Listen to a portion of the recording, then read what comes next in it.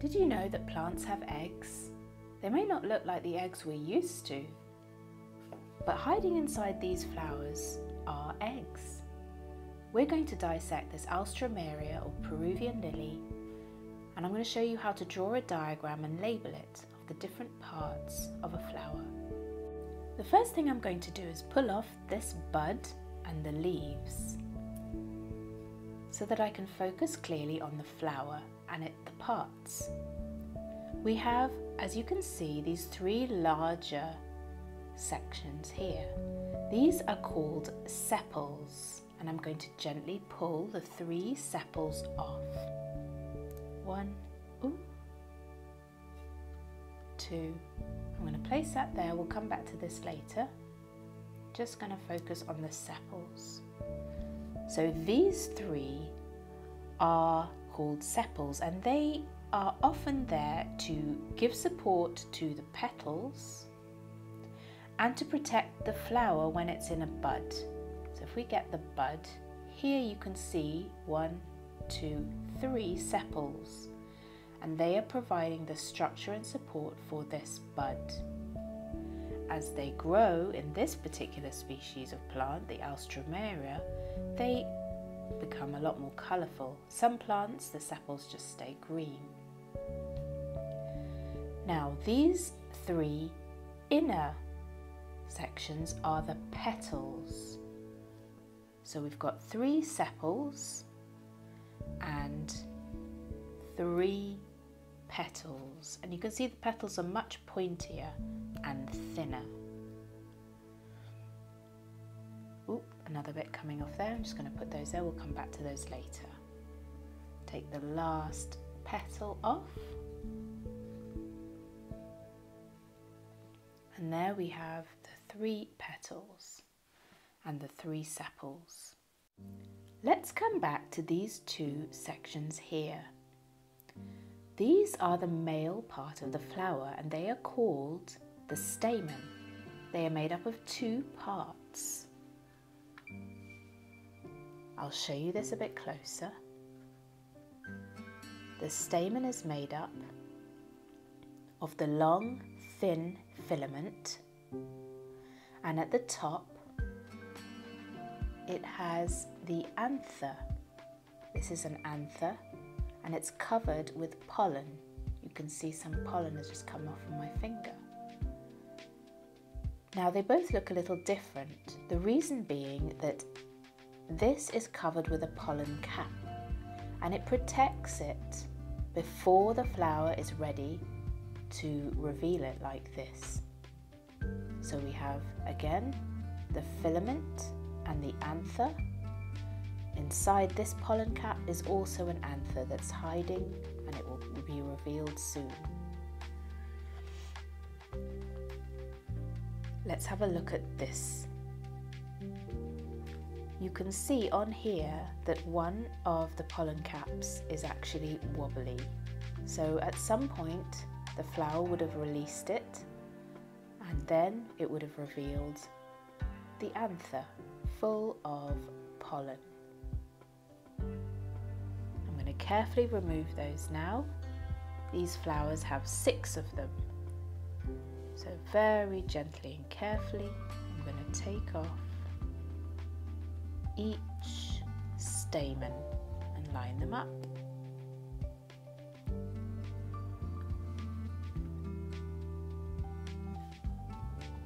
And the next job now is to take a look inside this part of the flower.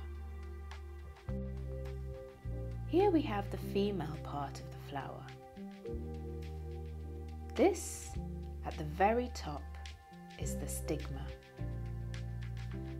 Tube going down is called the style, and this round, larger area is the ovary. And in there, if we dissect it, we might be lucky enough to see a few ovules or eggs.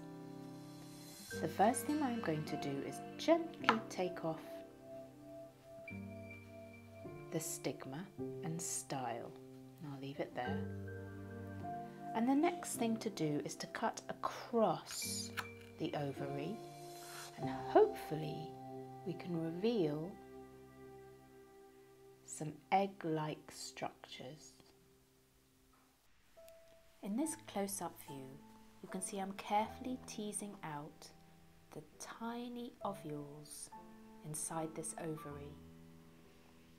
This section that I've pulled out here are several ovules all clumped together and attached. And here they are, lots of little ovules all attached together. In order to prepare our flower for our diagram, I'm going to remove at least one of the sepals and one of the petals. That gives me a better view of the area down here that I need to draw. What I'm also going to do, and if you're younger and you're dissecting a flower, please ask for help. I'm going to cut into the ovary so that I can get a clear view of the ovules and inside the ovary. I'm now going to show you how to draw a diagram of the parts of a flower. I'm going to use pen so it's easier for you to see, but you may want to use pencil. I'm going to start by drawing the stem and the ovary.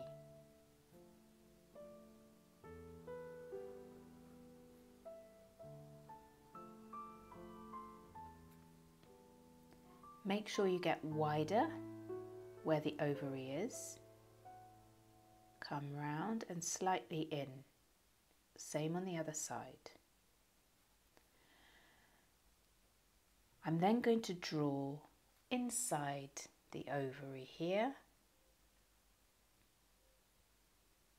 It's an oval shape. I can see there's a little line down the middle and off the line come little eggs.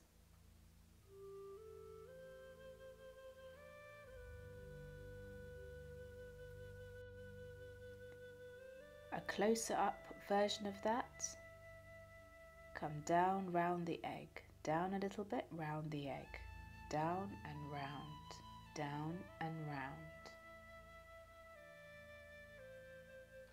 The next thing we're going to do is draw around just the top of the ovary. I'm just going to finish that off there. Because we know that the ovary was closed. And from the ovary, we saw earlier coming up the female part, which is the style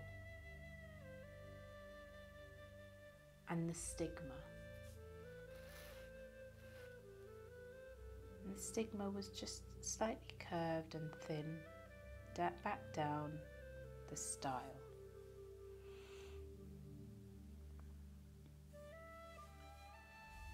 Around the stigma and style, I'm going to draw the anthers and the filament, the male part of the flower.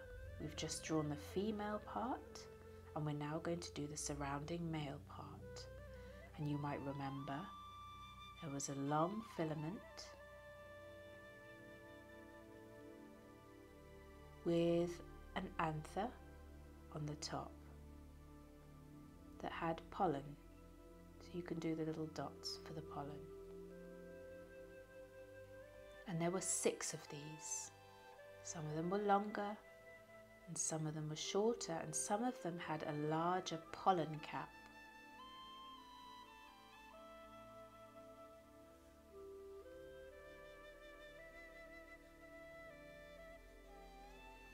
Which was a greenish colour.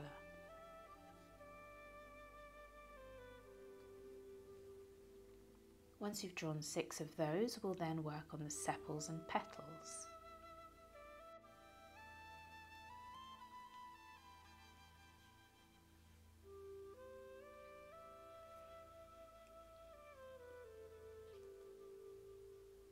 Can draw some of the anthers behind the others. If following the line down behind. One, two, three, four, five. We have one more to do.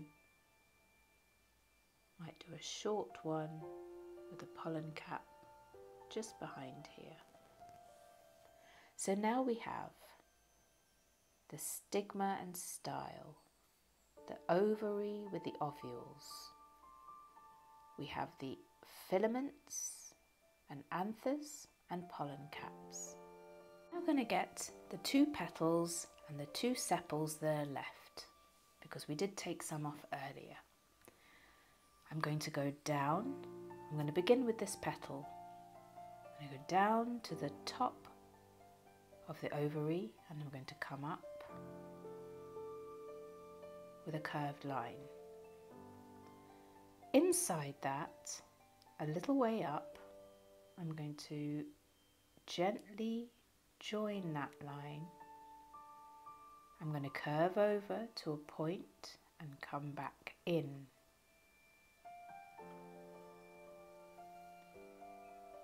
This is the top of the petal curving over, this is the back part of the petal. We're going to do this petal here now and part of it's going to be hidden in among the anthers. So find a place for yourself in among the anthers you've drawn and curve up to a point. Keep it thin and curve back down and find your way down through the anthers until it disappears behind. We now have two petals. We took the other petal off so we won't draw it.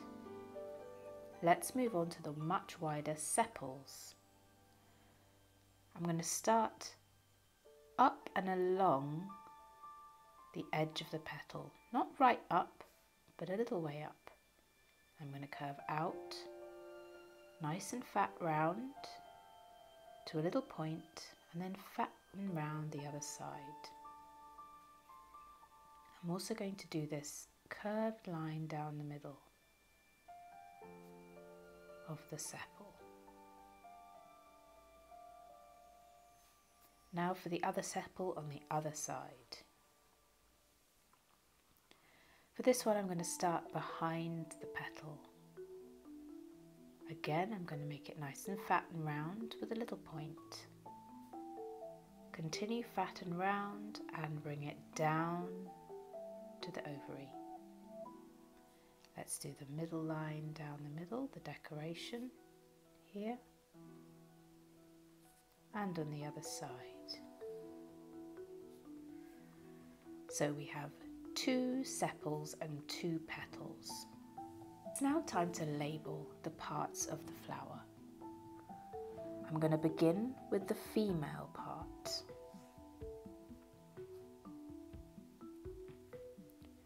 So we have the ovary,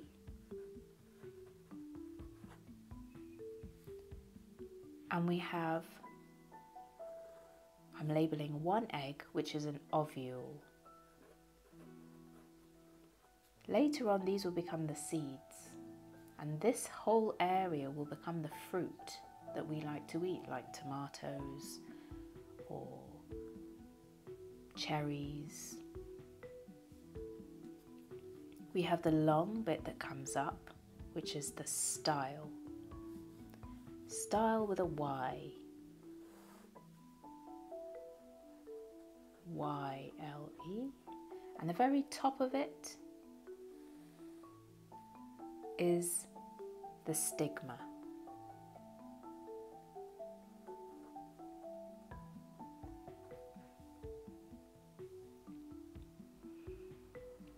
We then have the male parts of the flower. So we remember the bit with the pollen on is called the anther.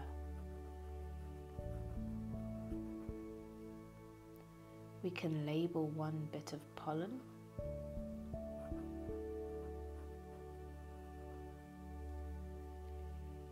And the long thin tube that holds the anther up is the filament.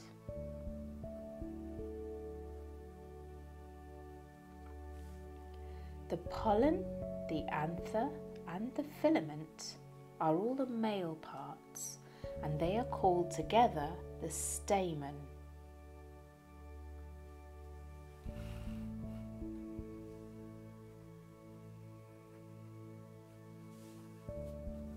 So here, filament, anther and pollen, all three of them are the stamen.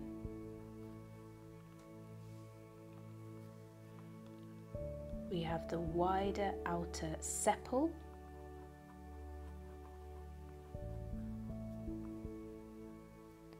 We have the much thinner petal.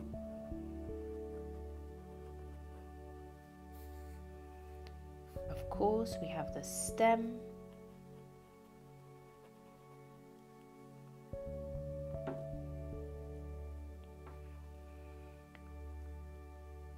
And there we have the parts of the flower.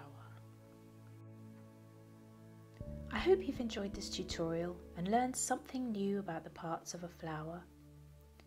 Do leave me a comment in the comment section below. I love hearing from anyone who enjoys my tutorials.